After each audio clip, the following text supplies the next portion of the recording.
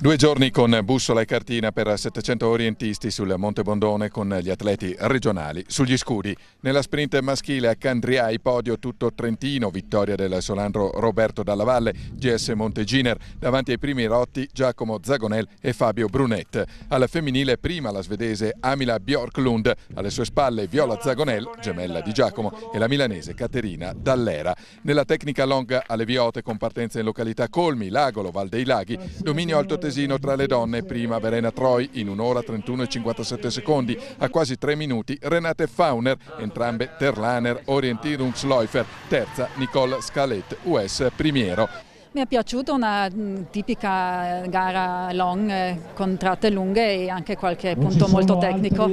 Tra i ragazzi Samuele Tait e Giacomo Zagonel si sono dovuti arrendere al forte Alessio Tenani, polisportiva Masi, che ha chiuso in un'ora e 56 minuti netti. Soddisfatti il direttore di gara Andrea Rinaldi e il commissario della Federorientamento Sergio Anesi. Direi che è andato tutto bene, i 50 volontari hanno fatto tutto quello che avevamo programmato, i 700 concorrenti sono arrivati da tutta Italia e quindi non possiamo che essere contenti. Un grazie alla località che ci ospita e soprattutto un, eh, un grazie ai tanti atleti che qui si cimentano nelle diverse competizioni e nelle diverse categorie.